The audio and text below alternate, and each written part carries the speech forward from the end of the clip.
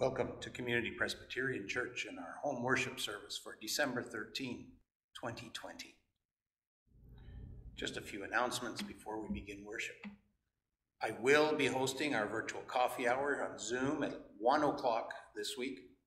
This will give us all a chance to get home and then share some fellowship following whichever version of our service you participate in. Now that we have resumed in person worship at the church, the online services in their current format will continue until we sort out the technology to record the live service and post it for viewing. For many years, we here at Community Presbyterian have assisted the good folks at St. Paul's Anglican Church in Almonte with providing a Christmas dinner for the folks in the community, especially those that might be alone or unable to afford a good meal. December 25th, this meal is being supported by local churches and service clubs and organizations that care about their community at large. Thanks to our ongoing pandemic, the community Christmas dinner at St. Paul's will be different. It will be done by takeout and prepared by the Centennial Restaurant in Pakenham for distributing on December 25th. Please be assured, we have authorization from both Leeds and Grenville Lanark Health Unit and the Anglican Diocese of Ottawa for this approach to help those in need in our area. If you wish to receive a meal, please contact St. Paul's at the number that is on your screen. Back in March, when this pandemic was declared, we here at Community Presbyterian Church were blessed to receive substantial donations to offer assistance to those that may find themselves in need during the difficult and confusing times that we are all still facing in our communities. At that time, there were promises from the various government agencies and departments to help everyone through this. Many of these promise, promises have been kept to some degree or another, but we know there are still some folks that are falling into the cracks that our social safety net still manages to miss. If you are in need of assistance or know of someone who is in our church family or in our community, please reach out to me here at the church or through my cell, available on the church website, and we will try to help financially as best we are able. Let us take a moment to quiet our hearts and minds as we prepare to worship God. Let us join in our call to worship responsibly. In this season of Advent, we celebrate God's joy, knowing that Christ is coming to bring healing and wholeness to the world is a source of delight. When we gather for worship, it is a celebration, an opportunity to rejoice in all that God is doing among us and beyond us. We welcome our neighbors and celebrate God's goodness. Even when we face difficulty and trouble, we sing a song of faith, confident that Jesus is able to redeem our suffering world. Together, we are a sign of God's joy for the world.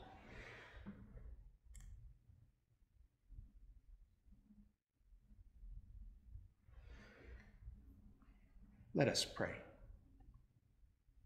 God of transformation, we rejoice that you lift up the lowly and bind up the brokenhearted. We marvel at your power to change hearts and lives.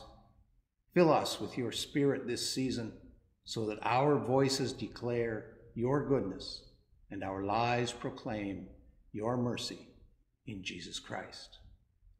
Amen.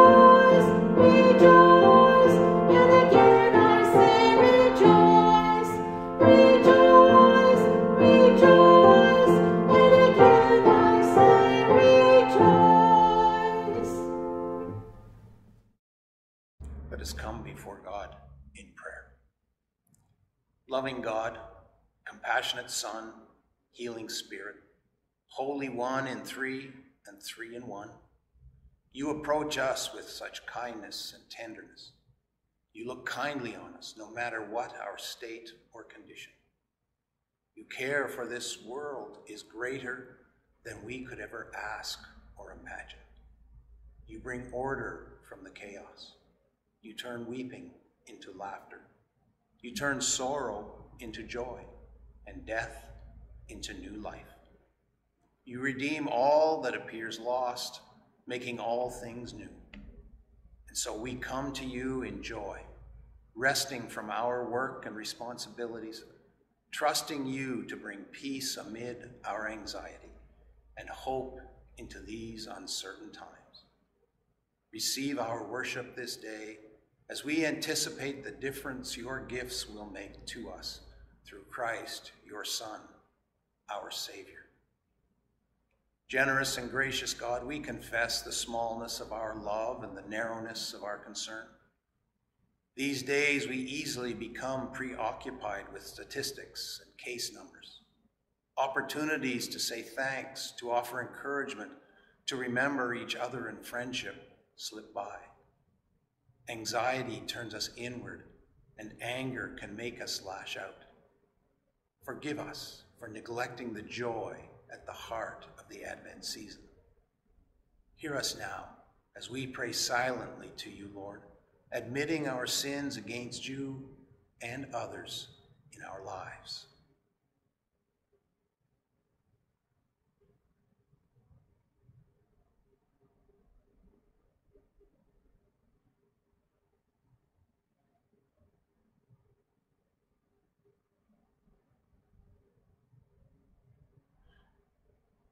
Gracious God, turn our hearts back to you and inspire us with your love made flesh in Jesus Christ. Help us share the joy that we have from knowing you and receiving your love and joy always. In Jesus' name we pray. Amen. Friends, in Jesus Christ, we are a new creation. There's nothing we have done, nothing we could ever do that can separate us from the love of God shown to us in Jesus Christ. Know that you are forgiven, and with this joyful truth, have the courage to forgive one another. Thanks be to God. As we prepare to hear God's word, let us pray. God of wisdom, by the inspiration of your Spirit, open our hearts so that we may hear and understand your words speaking in the scriptures.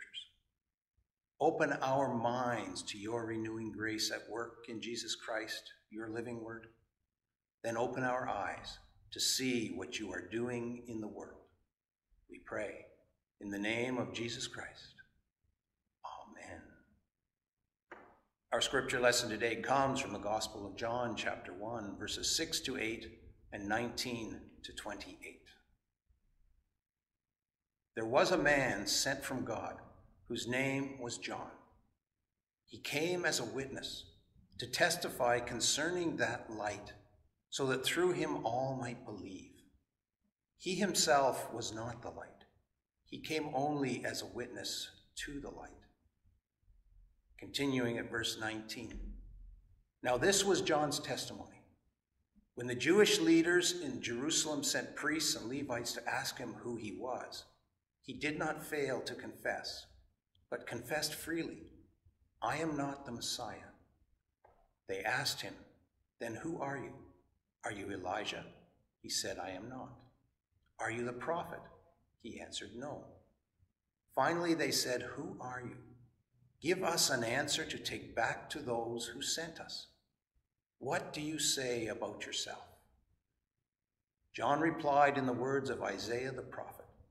I am the voice of one calling in the wilderness. Make straight the way for the Lord. Now the Pharisees who had been sent questioned him. Why then do you baptize if you are not the Messiah nor the prophet? I baptize with water, John replied, but among you stands one you do not know. He is the one who comes after me, the straps of whose sandals I am not worthy to untie. This all happened at Bethany on the other side of the Jordan where John was baptizing. For the word of God in Scripture, for the word of God within us, for the word of God around us, thanks be to God. Let us join with Susan and I in our next hymn.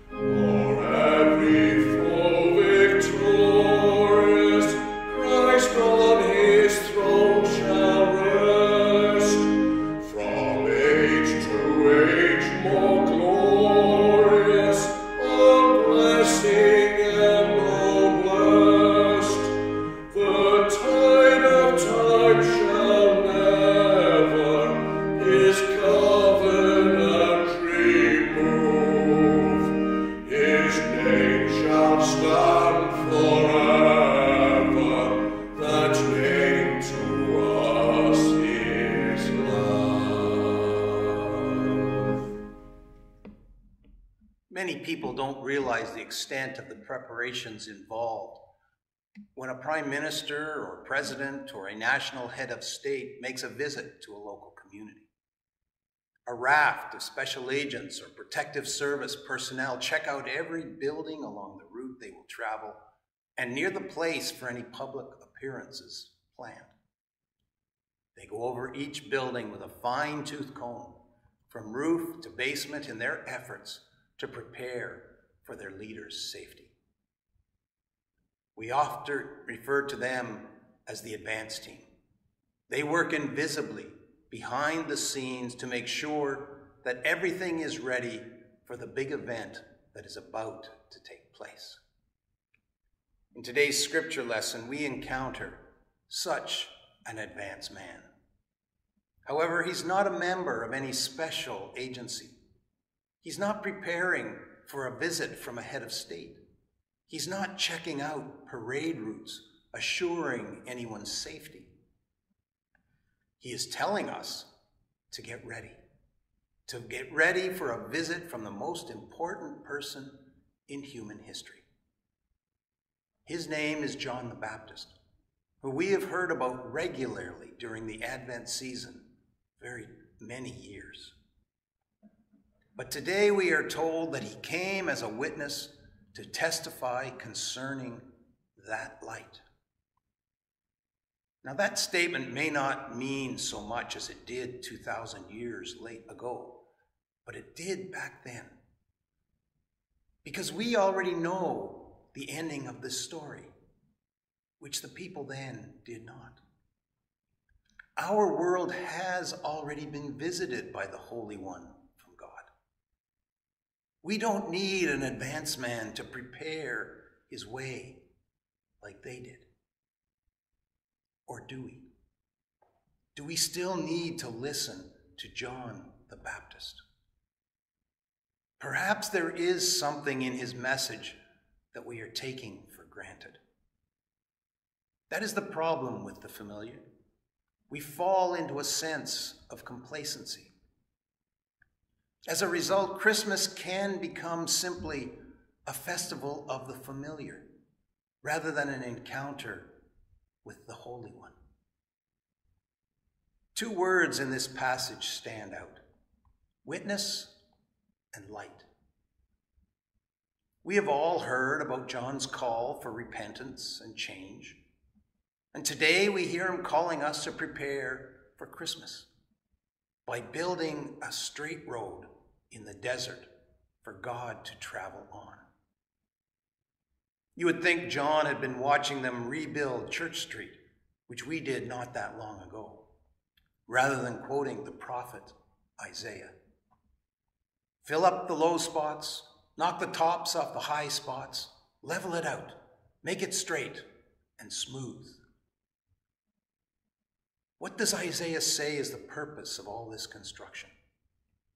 So that the glory of the Lord may be revealed for all the world to see.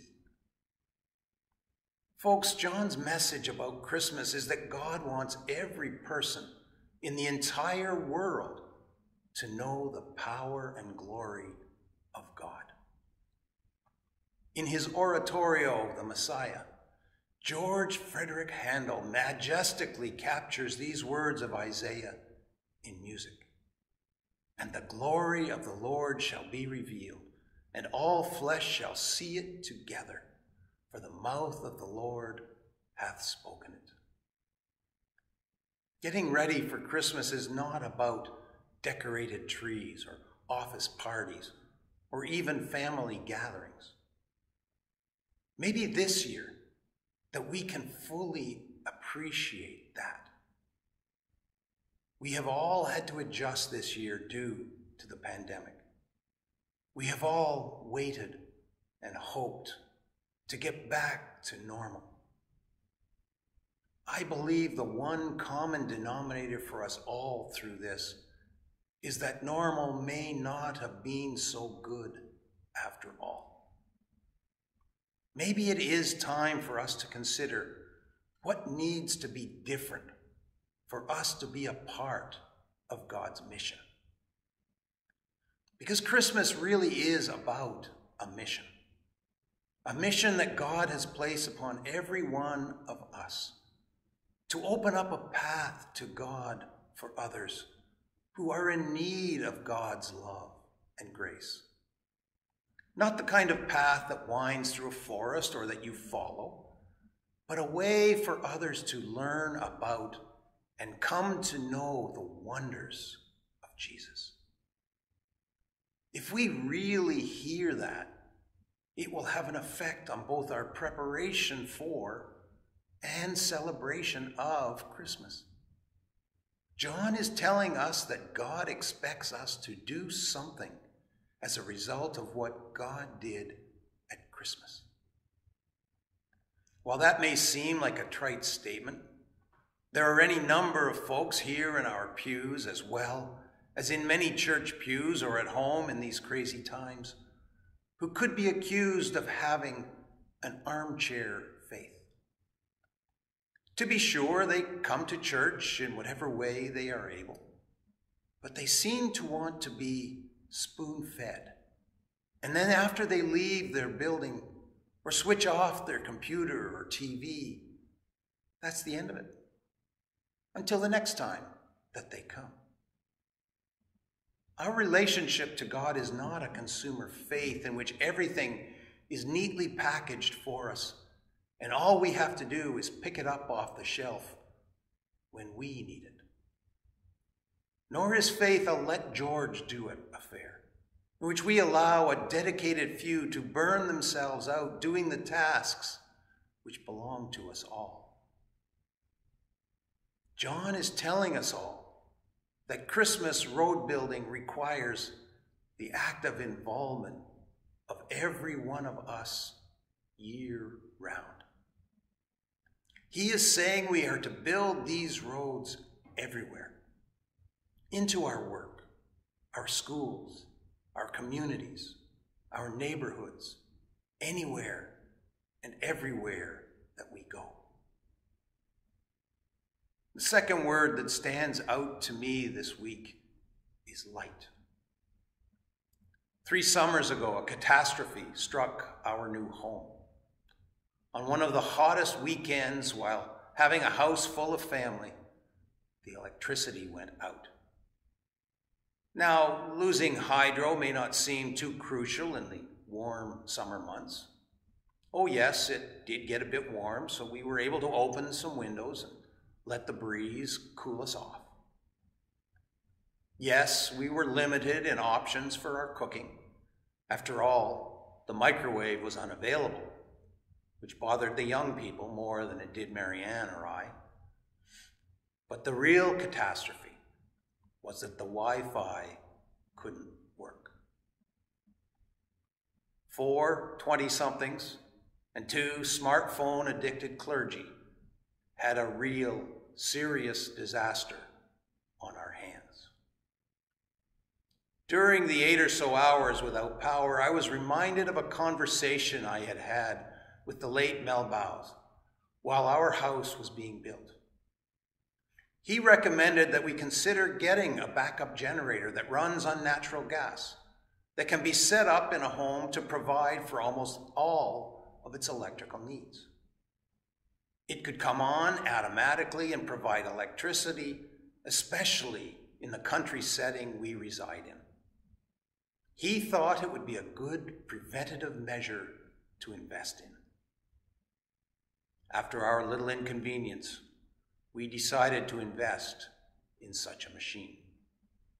And last week we had another brief power outage that my stepdaughter Elizabeth, one of the ones panicking previously, didn't even notice beyond the split second flicker of a couple of lights.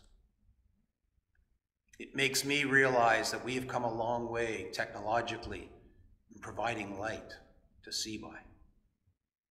However, as I read the newspapers and hear about shootings in schools and messy divorces and people dying of drug overdoses, I also realized that technology cannot generate light for our hearts and souls.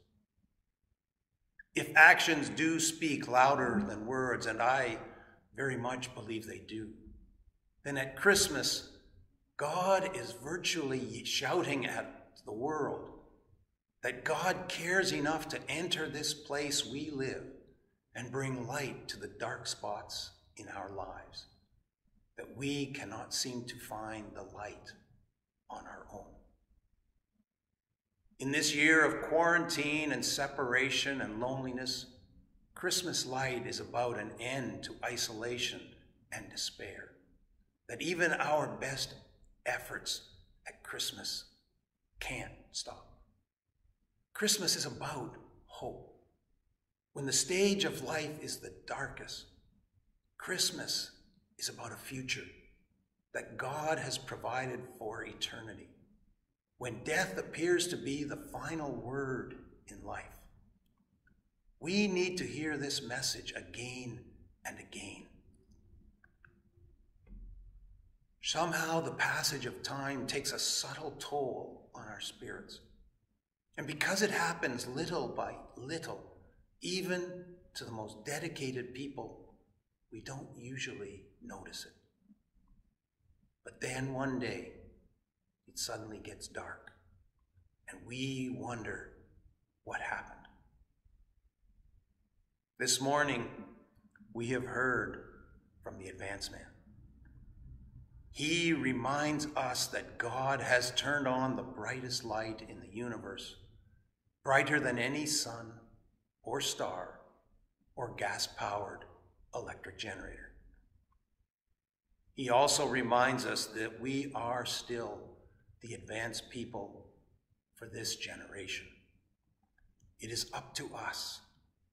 We are to tell everyone who will listen that the light has already come. Once again, I want to paraphrase John's Advent message. Prepare the way of the Lord to words for our time. Light it up. Amen. Let us take a moment now and enjoy our ministry of music with Di and Susan.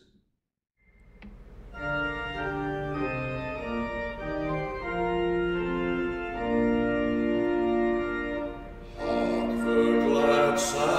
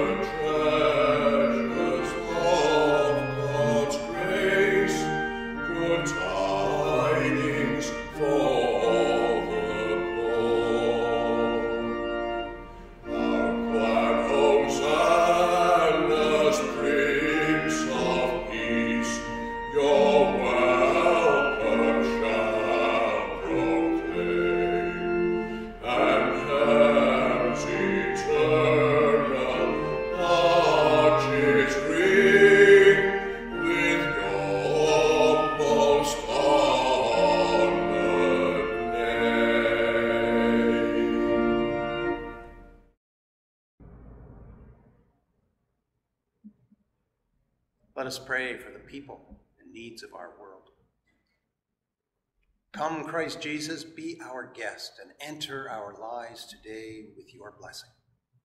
We are lonely for you and the peace you bring. Draw near to us in friendship and faithfulness, so that in this season, which combines celebration in the face of uncertainty, we may know your presence.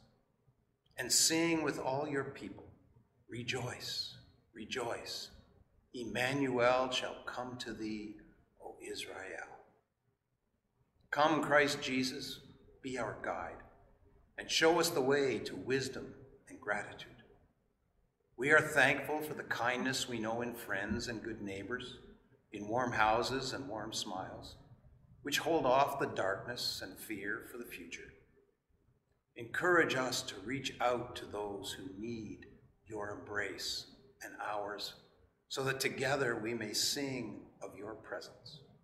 Rejoice, rejoice. Emmanuel shall come to thee, O Israel. Come, Christ Jesus, be our hope. Touch us with your healing and grace. We remember before you all those we know and those known to you alone, who are living with loss or illness this season those who face depression or discouragement, and all who will find it hard to be merry this year. Shine the light of your comfort into their lives as we sing of the hope that dawns in your love. Rejoice, rejoice. Emmanuel shall come to thee, O Israel. Come, Christ Jesus, be our King, and claim your rightful place in our hearts.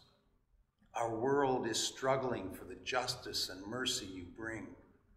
Draw near to our leaders and all citizens working for peace and justice, and those striving to contain and heal the effects of pandemic. Encourage honorable action and cooperation on all sides. Give hope to people under oppression and to those who live with fear or hunger day by day. Rejoice, rejoice. Emmanuel shall come to thee, O Israel. Lord, we each have so much to be thankful for, and we also have so many concerns for others and worldly things that we offer those to you silently now for your care.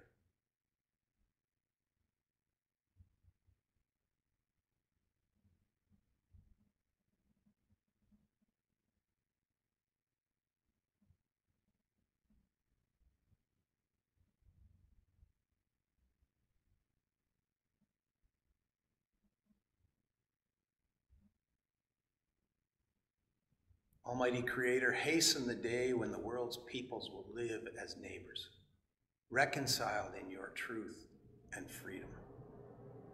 For the coming of this day, we pray in Jesus' name always. And we join together to pray the words Jesus taught us in the form that we know best. Our Father, who art in heaven, hallowed be thy name. Thy kingdom come. Thy will be done on earth as it is in heaven. Give us this day our daily bread, and forgive us our debts, as we forgive our debtors. Lead us not into temptation, but deliver us from evil. For thine is the kingdom, the power, and the glory, forever and ever. Amen. Let us join with Susan and Di in our closing hymn.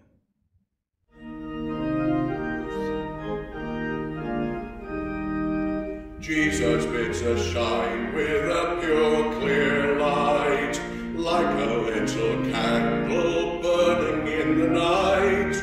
In the world is darkness, so we must shine. You in your small corner, and I in mine. Jesus bids us shine first of all for him. Well, he sees and knows it if our light grows dim. He looks down from heaven to see us shine. You in your small corner, and I in mine. Jesus bids us shine, then for all around. Many kinds of darkness in this world abound. Sin and want and sorrow, so we must shine. You in your small corner,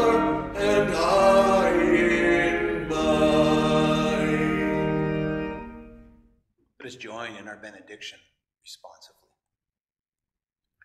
The God who makes everything whole sends us forth to bring healing to the brokenhearted and to comfort the mourners in our midst. The Christ who comes to be with us sends us forth to stand with the oppressed, to release those held captive by sin to invite the lonely into our lives. The Spirit who calls you to faithfulness sends us forth to proclaim the gospel that today is God's moment, the day when all people will be blessed. Go in peace to love and to serve the Lord. Amen.